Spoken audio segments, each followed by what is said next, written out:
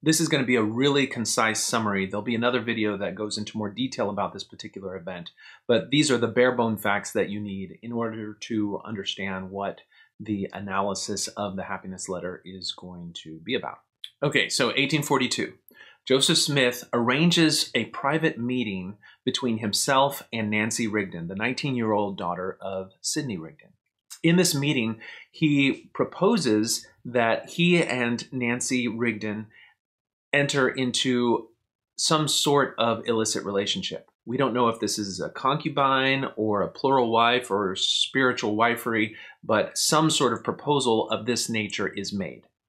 Nancy forcefully rejects it. And furthermore, she says, I'm going to scream about what's happening here if you don't let me leave. Joseph lets her leave after he promises that he is going to write a letter explaining how his proposal is actually in line with God's commandments and is actually a righteous thing rather than some sort of lustful, sinful thing.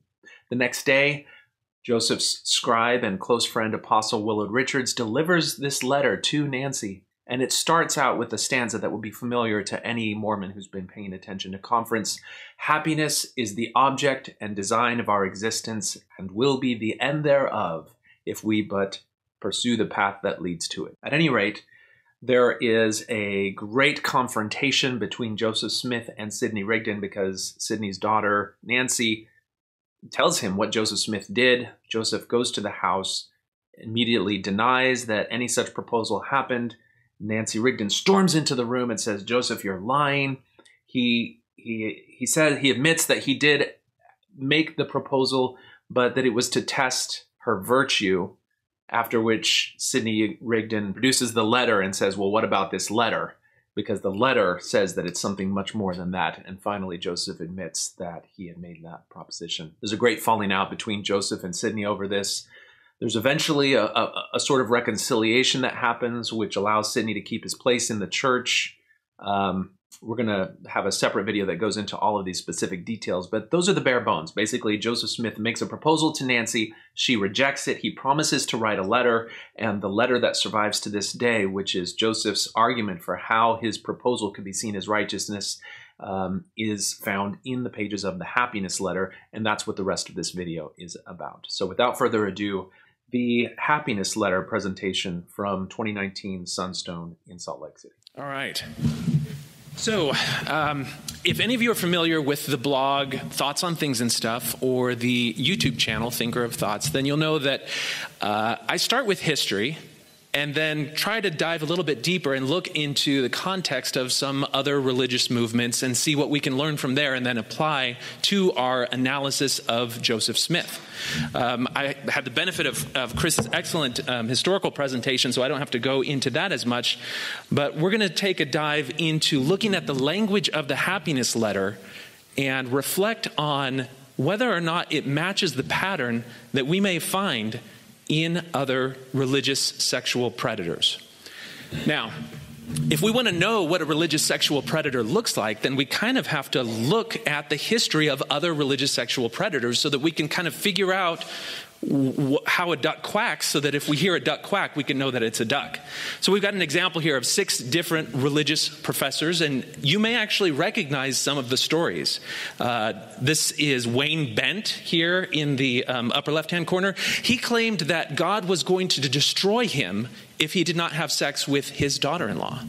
We've got um, uh, David Koresh down in the lower left hand corner who claimed that there was a, a, significant scripturally based religious justification for him to dissolve the marriage bonds of everybody in his flock so that women could have, so he could have sexual access to the women in his flock for a very biblical reason. Uh, we've got other representatives who were able to come up with religious and biblical and theological justifications for their unorthodox sexual activities, and they were different from each other. So, a member of one group might look out at one of the other groups and say, That, that prophet has it all wrong. My prophet is the real prophet. But at, when, at the end of the day, you really have to engage in a form of special pleading in order to do that. But we're going to try to avoid that pitfall of special pleading when we do this analysis. So when you look at all of these different stories and you try to paint the picture of a religious sexual predator, you're going to find some things pop up again and again. You're going to find that the individual claims divine sanction for their unorthodox sexual practices. You're going to see them appeal to the devotion and piety of the targets of their predations. You're going to find that they have created religious justification. In some cases, it may be as simple as, well, God said that love is love, and we're going to interpret that as sexual love, and it's free. That would be the case of uh, the leader of the children of God. Um, or it may be a more complex, multi layered theological justification. And we're left to decide whether or not the degree of ornate justification sub- sublimates something that we would otherwise consider abominable or whether it really doesn't make a difference. So when you look down at the at the root mechanisms of these types of manipulations, when it, and if you want to learn about it, you can do searches for documentaries about these different group leaders and listen to the stories of the survivors, so you can see how they were able to take people who started out with conventional moral um, a moral compass of what was right and the boundaries of propriety, and their morality was subverted by the messaging. And the, the self proclaimed prophet used enticement, they used fear, they used guilt, threat, obligation. All of these things were part of the toolkit of the religious manipulator. And it was all bound up by secrecy. All right, so the happiness letter. Now, when you guys, how many people here know what the happiness letter is or have heard of it before today? If you take some time and you're in your ward or anything, you might ask people, you know, do you know what the happiness letter is? And chances are you'll have my experience where people are like, what is that? I, I don't know what that is. But, uh, they will probably have heard it if you start with the first stanza, because it's a very familiar stanza. Happiness is the object and design of our existence and will be the end thereof if we pursue the path that leads to it. So we're going to take a moment and we're going to go through the happiness letter stanza by stanza, and we're going to examine the, the language of manipulation that is woven throughout the letter. All right, so let's talk about the language and mechanics of manipulation. Now, in any manipulative endeavor, the perpetrator begins with some knowledge of his target, his mark. He wants to understand the motivations, desires, insecurities, and proclivities of his target. And this allows him to tailor his approach so that it will hit just the right notes to persuade, but also to give the target the sense that their submission is voluntary and the product of their own free will and priorities. In many cases, which we see at the start of this letter, the, the manipulation starts with an appeal to something that the target desires. This is the honey in the trap, the bait on the hook. And the target's desire for this bait becomes the fuel for the rest of the manipulation. Now, such enticements could be strictly secular. Fo- this type of focus is common in financial forms of fraud. For example, Bernie Madoff appealed to his clients' desires for financial success, and that was enhanced by the sense of an elite status that you qualified for his unique investments scheme. The people behind pyramid schemes, Ponzi schemes, cash gifting circles, and other forms of financial fraud will often use these secular types of enhancements. Uh, but there are uh, religious manipulations as well, and these draw upon more existential desires divine acceptance, healing, salvation, spiritual rebirth, absolution, enlightenment. All of these touchstones have been used by various religious charlatans throughout history. Now, these metaphysical objects of desire are enhanced when they're tied together with other coveted ideas prosperity, well being in this life and the next. And these may be connected with the spiritual obligations that are communicated by the predator.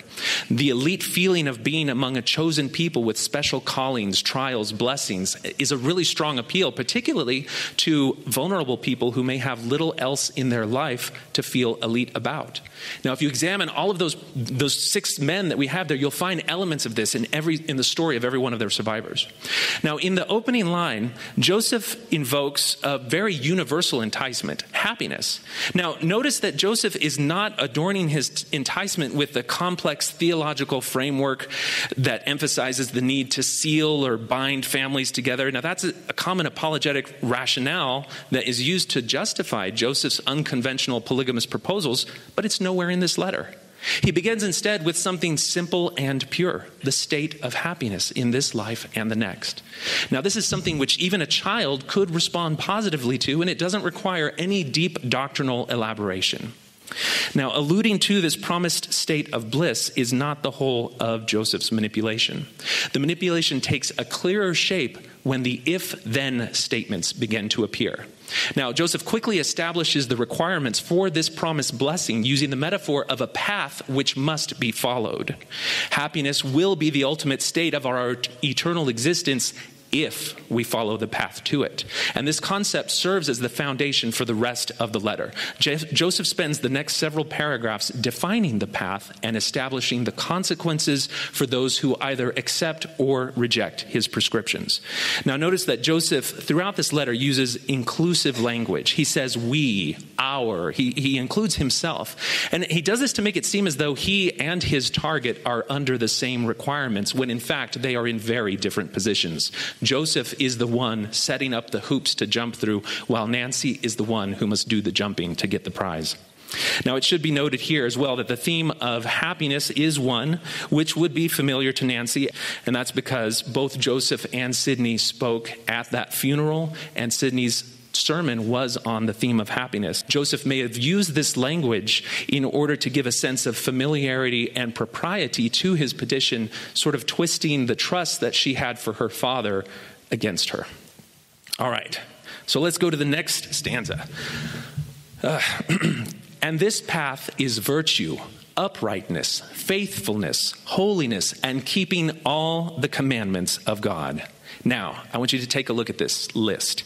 It's made up entirely of seemingly positive ideals. An individual who considers themselves religious or spiritual, even without knowing the source, could look at this list as a series of guiding moral ideals and principles, each ideal appealing to their own aspirations of goodness. But this is all part of the deception on the surface, there is nothing which really raises a red flag. But it's important to remember that these ideas of virtue, holiness, and divine command are subject to the definition of whoever claims the authority to define them. Now, throughout history, a wide array of religious con artists have distorted and redefined these notions to alarming degrees. Here are some examples. For a member of the children of God, virtue may be found in following the teachings of its leader, David Berg, which includes using sexual enticement to gain converts and involving children in abusive sexual activities. For a member of the Church of Christ scientist, uprightness may be achieved by adhering to the admonition of the church's founders, Mary Baker Eddy, and rejecting medical science in favor of faith healing and the idea that all sickness is the result of spiritual weakness. For a member of the Jehovah's Witnesses, faithfulness may be proven by denying a sick one a life saving blood transfusion, resulting in a preventable death, or by completely cutting a loved one out of your life if they choose to leave the faith. And this is all encouraged by the men in the governing body of the institution. For a member of the Unification Church, holiness may be attained by surrendering one's will to sinful humanity and consenting to be married to a stranger in a mass ceremony in order to be grafted into God's sinless lineage under the blessing of church founder Sun Myung Moon.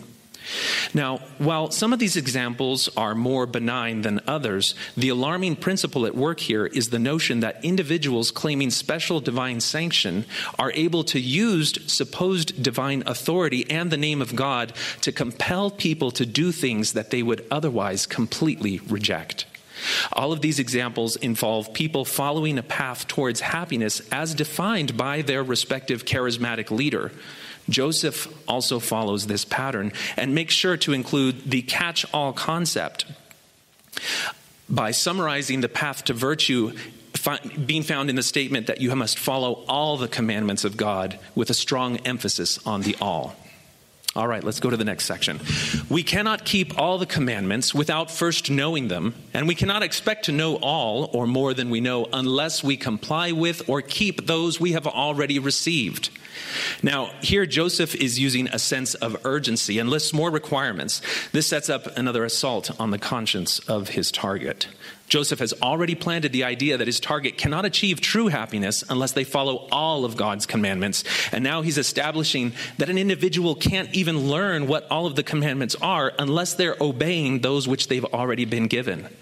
The fact that Joseph chooses to convey this message only after claiming that he has been given a commandment to take Nancy as a secret, illegal plural wife should not be overlooked. The unspoken imperative here is that neither Joseph nor his target will be able to achieve happiness unless they comply. Another danger here is that this compels people in Joseph's orbit to obey anything that he puts forth under the name of God, both now and in the future. Now, you can review the bad outcomes of groups under the influence of religious manipulation. Jonestown, the Branch Davidians, Heaven's Gate, each of these reveal that uh, the horrific outcomes was facilitated by a charismatic leader who wove a web of undue influence over the minds of their followers. This is characterized by the notion that the leader's instructions could only be righteously answered by obedience. Now, the leaders did not start out by giving the extreme commands which led to the deadly headlines. Rather, they started by instilling the notion that obedience to the leader was equivalent to obedience to God and should be done without question or doubt. Now, it's not the extreme outcome of these examples which is the problem. It is the culture of irreproachable authority which lies behind them. Even if a group doesn't end up involved in mass suicide, if the teachings and expectations of the leader or leaders imposes this high demand for obedience upon the members, that is the moral and ethical root of the problem. This demand for obedience is the underlying message woven throughout Joseph's happiness letter obedience at the threat of one's eternal soul. It echoes through the issues of polygamy into the Mountain Meadows massacre, racism, sexual abuse, and even bigotry of today. Joseph has set up the stakes, and next he delivers the linchpin of his entire religious ethic, a concept which places his commands above the conscience and judgment of his target. This is the next, this is a key section. That which is wrong under one circumstance may be and often is right under another. God said, Thou shalt not kill. At another time, he said, Thou shalt utterly destroy. This is the principle on which the government of heaven is conducted by revelation adapted to the circumstances in which the children of the kingdom are placed. Now remember that Joseph is drafting this letter to a 19 year old young woman who has refused his proposal for secret illegal bigamy, a practice that she saw as adultery. He's creating a religious justification for how and why this woman could receive his proposition as an act of righteousness and see him as a man of God, even though his request violates her sense of virtue, morality, and godliness. At the core of his message, Joseph endeavors to use religious rhetoric to make that which is wrong appear right. He introduces this concept and, in so doing, po- points out that these circumstantial exceptions are not extremely rare, but are, in fact, frequent enough to be described as occurring often. In order to make this point, Joseph uses the effective approach of taking something even more offensive than sexual sin and showing how it could be seen as righteousness. Thou shalt not kill, the scriptural injunction against murder found in Exodus in the Ten Commandments. If Joseph could turn this instruction on its head and show how God could justify killing in certain circumstances, then a call for polygamy would be almost trivial by comparison. And accordingly, Joseph does just this Thou shalt utterly destroy Four words that are only found together once in Scripture in Deuteronomy 20 as part of instructions for the complete and utter killing of the inhabitants of six different cities, to include men, women, and children. Now, this particular scripture is the subject of a great deal of debate in modern times because it's often interpreted as an example of God commanding genocide. Those who defend the Bible spend a great deal of effort trying to demonstrate how this is not exactly the case. They appeal to many different moral rationales to do so. Joseph does not do this, however. He cites this scripture as an example of God, by command through a prophet, overturning the prohibition on murder due to circumstance. Joseph accepts this passage as a command for genocide and uses that contradiction to rationalize his violation of monogamy and sexual fidelity on the basis of divine revelation and command. Joseph states that these moral contradictions occur as a principle upon which the kingdom of God is based, citing revelation and circumstances to imply that they are simple, commonplace administrative procedures and should even be expected. Keep in mind that at no point in the entire happiness letter does Joseph ever directly mention marriage or sexual morality. He cites murder and theft, but steers away from directly addressing his subject.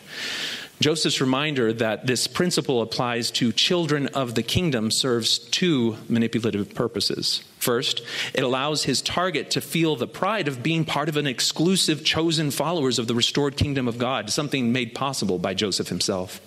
Second, it reinforces the idea that people receiving these contradictory instructions are like children, immature, naive, and thus unable to understand or question the wisdom behind the apparent contradictions that they are compelled to accept. Still, Joseph understands that he's not addressing a subdued sycophant. Nancy has already demonstrated her moral grounding and resilience in the face of his prophetic claims. Therefore, Joseph knows he has to apply every bit of his powers of persuasion to overcome her conscientious objection, which means finding a way for her to doubt her own judgment. And the next section of the letter adopts this tactic directly. Whatever God commands is right, no matter what it is, although we may not see the reason thereof till long after events transpire. If we seek first the kingdom of God, all good things will be added. So with Solomon. First he asked wisdom, and God gave it him, and with it every desire of his heart even things which might be considered abominable to all who understand the order of heaven only in part, but which in reality were right, because God gave and sanctioned by special revelation. Now, Joseph starts this section by reinforcing the most important concept of this letter that no matter what God, through Joseph, may command, it should be considered right and just. This is a form of divine command morality, which is the weapon of choice for religious charlatans and manipulators. Joseph then plants the seed of doubt about one's own personal judgment by warning that they may not see the reason that such offensive commands are actually right till long after events transpire. Joseph is instructing his target to quell their own doubts and stifle their conscience. Those concerns are just the product of childish and limited minds, Joseph suggests, and should be ignored in favor of anything that Joseph says God commands.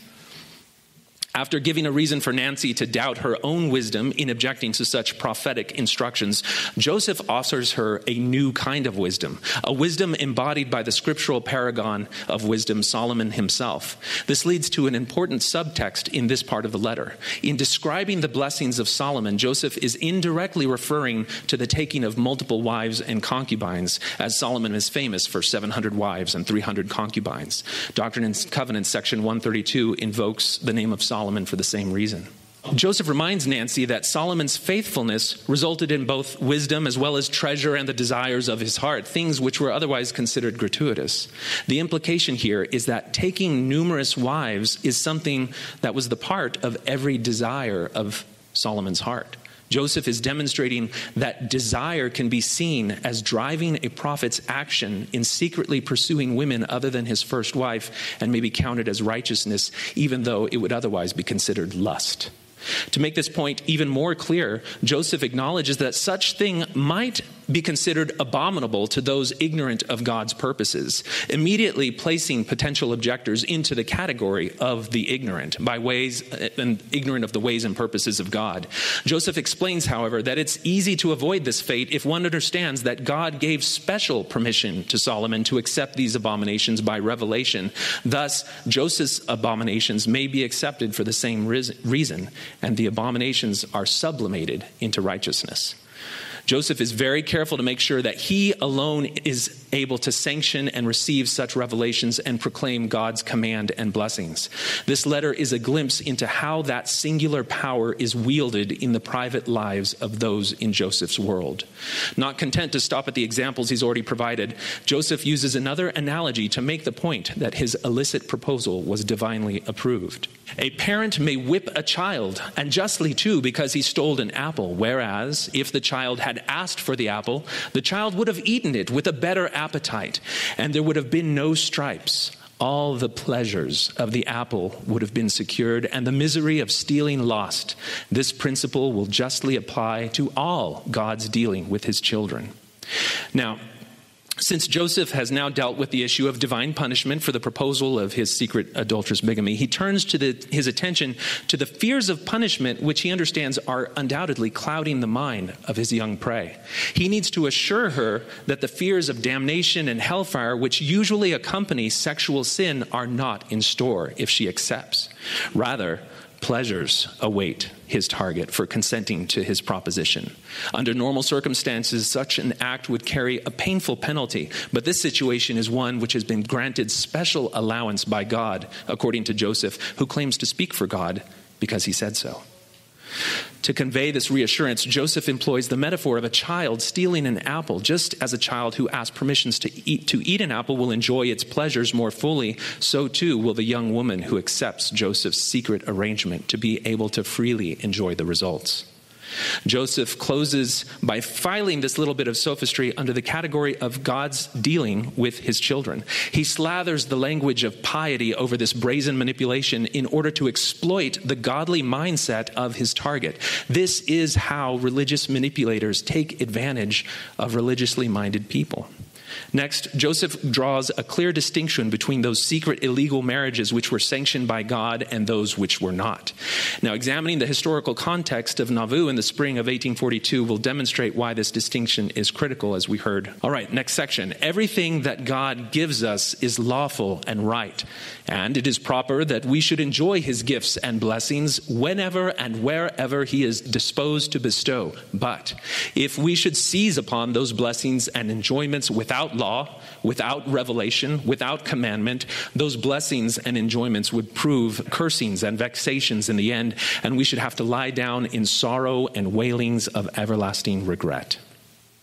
Now, while in the prior section, Joseph assured his young target that she need fear no punishment for consenting to his illicit advances, here he provides a counterpoint that anyone who would try to indulge themselves in such extracurricular activities but without the express commandment and revelation from God is committing sin and is therefore subject to everlasting punishment.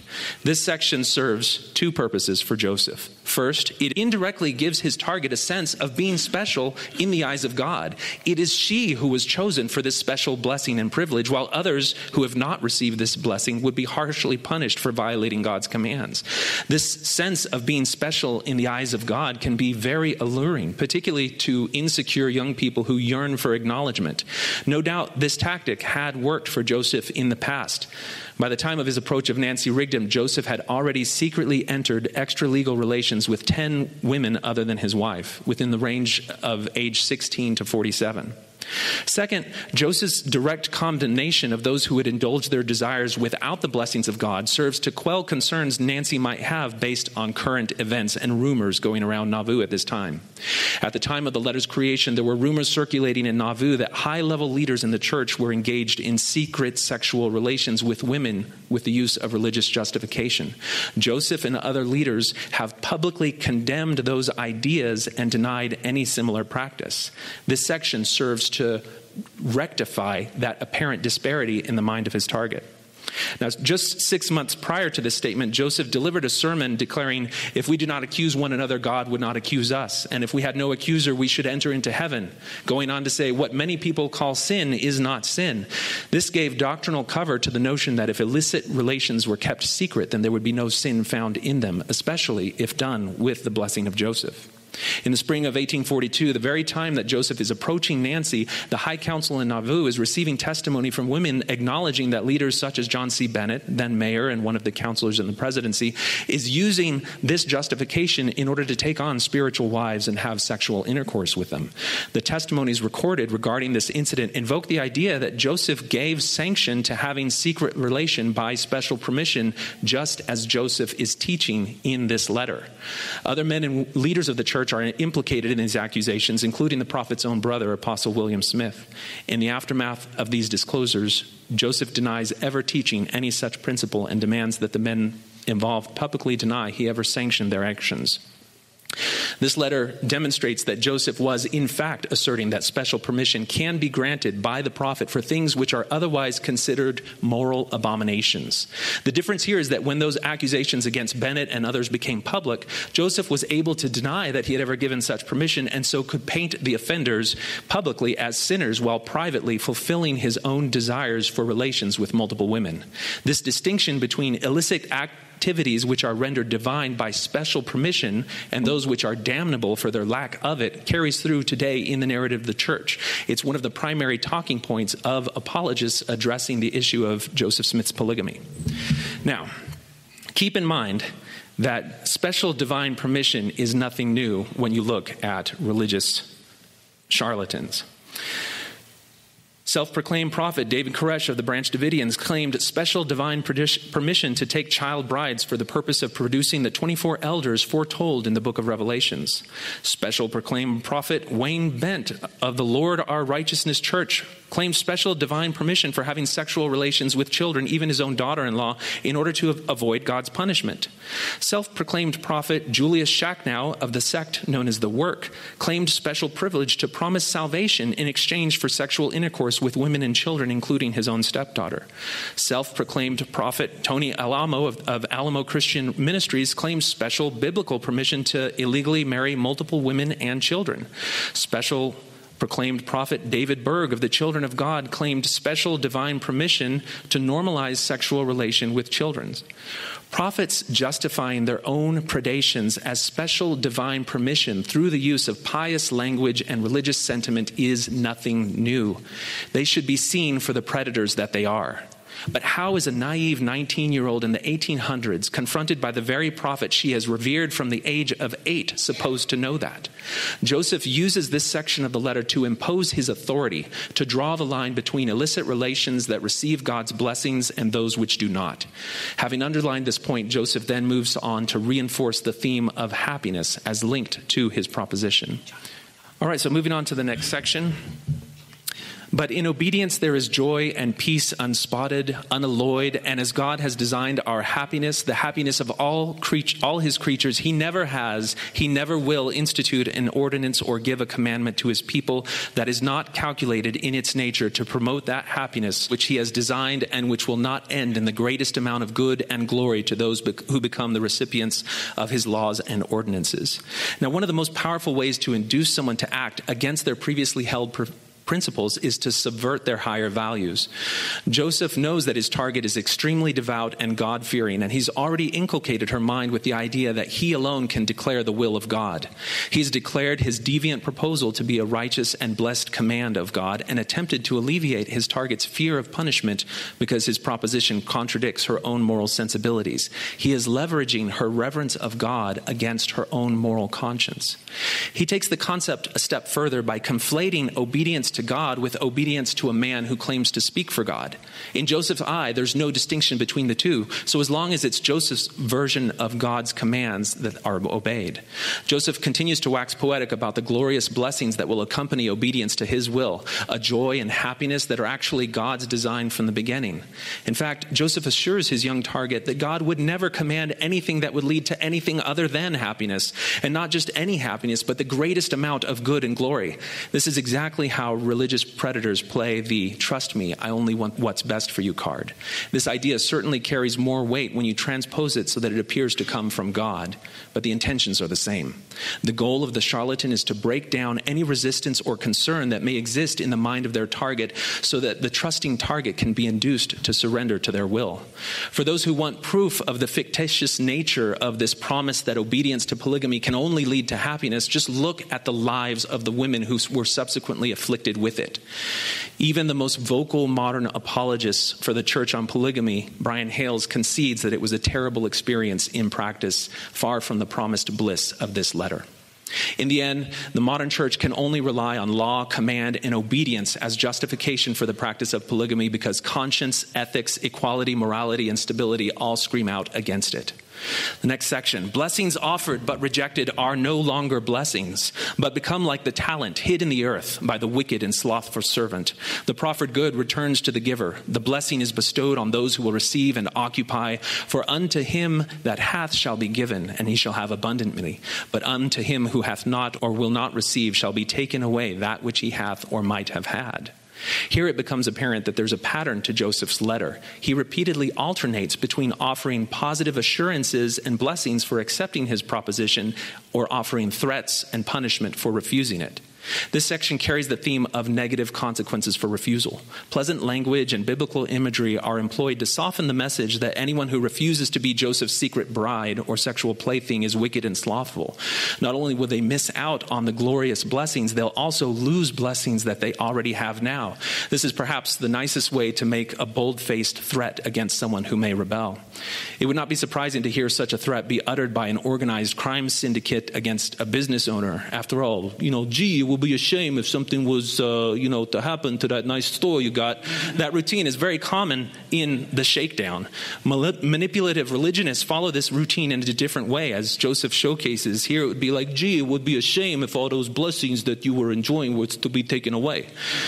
These are not the words of a man of God instilling virtue. These are the words of a predator who uses tacit threats and manipulation to induce a vulnerable target to fall victim to his carnal designs. Now, by including a poetic stanza here, Joseph takes a cue from John C. Bennett. Be wise today, tis madness to defer. The next day, the fatal precedent may plead thus on till wisdom is pushed out of time into eternity. Now, if you read Bennett's expose or any of his writing, he interjects poetry very, very frequently, and we can see here Joseph is kind of adopting this approach. He cites a verse which uses emotionally charged language such as madness, fatal precedent, wisdom, eternity, in an attempt to override the moral conscience of a youth with urgency and fear. This subtle manipulation speaks to Joseph's amoral intuition and facility with language, specifically the power of language to influence others. Joseph was a powerful orator in public and in private. Nancy's resistance to this manipulation is a testament to her character and strength. Having laid down some tacit threats, Joseph now shifts to making glorious promises once again. Our Heavenly Father is more liberal in His views and boundless in His mercies and blessings than we are ready to de- receive.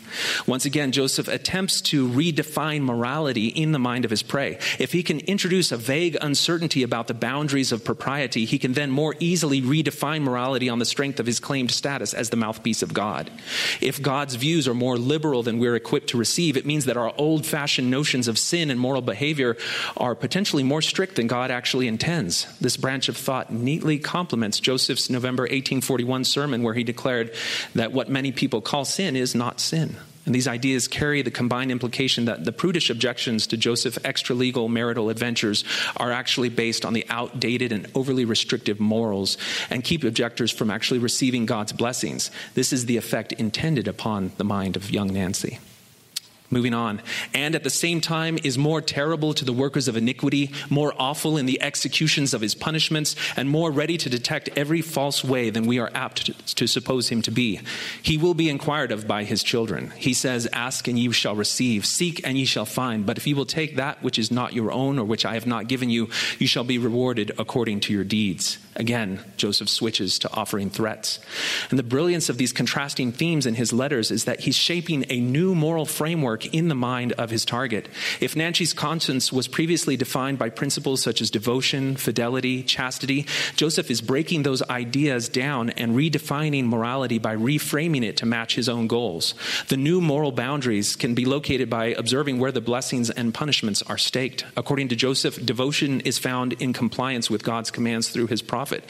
Fidelity is defined as staying true to God and his prophet. Chastity is expanded to be a concept that allows any relations given special permission by God's prophet. Underlying all of this is the unavoidable truth that in Joseph's new religious framework, there is only one virtue obedience. All other virtues are subordinate to obedience, and obedience may trump any other virtue at any other time, allowing even extremes of murder and genocide should God, through Joseph, command it, making polygamy trivial. But no good thing will I withhold from them who walk uprightly before me and do my will in all things and will listen to my voice and the voice of my servant who I have sent. Now, when David Koresh, Marshall Applewhite, Jim Jones, or any other self proclaimed mouthpiece of God instructs others to submit to some heinous act which betrays their conscience, the prudent response is to recoil, to reject their claims and see these men for the pretenders that they are. The idea that God would use such men to order abominable things refutes their claim to speak for God in the first place. The deception of these charlatans is laid bare no matter how flowing, beautiful, or pious their rhetoric. They will insist that their, their words are not their own, but God's, and thus cannot be rejected. To object to those instructions is to object to God's will. Charlatans continue to employ this tactic because it is so effective against devoted people who have a deep, sincere desire to please God and who are not familiar with the methods of such manipulation. Joseph mimics this tactic here in this stanza. He promises blessings for complete obedience while subtly giving equivalence to the voice of God and his own. He uses the voice of God to declare that he is God's mouthpiece in a bit of circular logic that can only be seen by those who are not already under his spell. Joseph God here is speaking with words found nowhere else in Scripture. He is delivering a revelation that is no less universal or significant than those found in the Doctrine and Covenants. In society today, a middle aged man using the name of God against a teenage girl, inducing her to secretly commit and make herself sexually available to him, is correctly identified as a manipulative predator. Such predators have existed for as long as people have held special reverence for God. In the case of the happiness letter, Joseph exposes his true character to match those manipulative predators joining their ranks. Joseph concludes his letter still speaking in the voice of God. For I delight in those who diligently seek to know my precepts and abide by the laws of my kingdom. For all things shall be made known to them in mine own due time, and in the end they shall have joy. Joseph God here establishes that God's favor is found only in complying with his wishes. Blind obedience is the order of the day delight, joy, happiness. This letter is peppered with carrots to be dangled in front of the devoted, naive, and credulous. Nancy had lived in the shadow of the prophet since she was a young child. Her own father's position in the world was held at Joseph's good favor, producing uh, underlying pressure to please the prophet. He threatens her with lost blessings, God's disfavor, and eternal detriment to her soul. This letter contains every manipulative and coercive tool that a religious predator has at their disposal, draped in flowery language and plied against a youth with such a desperate position of power in their community that it would make Harvey Weinstein blush. To accept Joseph as a true prophet and accept his assertions in this letter as God's will is to accept both prophet and God as abusive, coercive, and manipulative, with the prophet enjoying divine sanction to satisfy his own carnal lusts at the expense of the innocent and vulnerable. Examining the happiness letter for what it is causes a moral person to see Joseph in a new light. The letter shows a side of Joseph that is usually clouded with religious cunning, a secret side which can be perceived when the letter is viewed in the context of its writing and the subject of its prose and the psychological manipulation in its wording. These same manipulative, subversive, and amoral sentiments are found peppered throughout his sermons and revelations, although they're usually better hidden behind vague allusions, scriptural adornment, and plausible deniability. Every de- deplorable point in this letter has its equivalent in section 132. Now, Imagine the same words here secretly delivered from some other religious leader to a youth in his congregation over whom he has been licking his lip for years. Would you think such a man spoke for God just because he claimed it? If you rejected his godly claims sanctioned in this act, would you accept any other claimed communication or authority from God by this man? Would you accept it from any other modern church leader of the same? Would you believe any of these six people on the right if they knowing about their sexual predations also gave you pleasant sermons, would that be something that you would want to internalize? These are the questions that should echo in the heart of a person of conscience when considering the words of the prophet Joseph directed to young Nancy Rigdon in the happiness letter. Every time a church leader invokes the phrase, happiness is the object and design of our existence, these questions scream all the louder.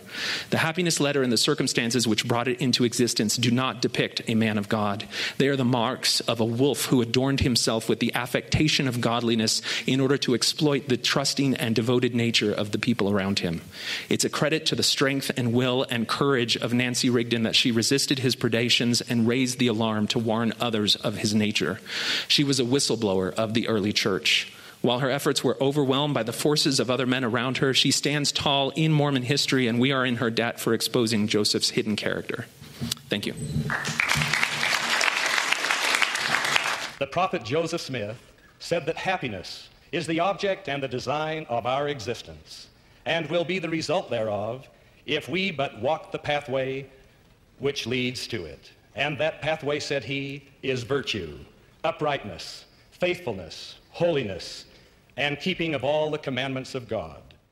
It was the prophet Joseph who declared, The prophet Joseph Smith taught us. The prophet Joseph Smith taught. The prophet Joseph Smith said. The prophet Joseph Smith taught. The prophet Joseph. The prophet Joseph. The prophet Joseph. Joseph. Joseph. Joseph. Joseph. Joseph. Prophet Joseph Smith said.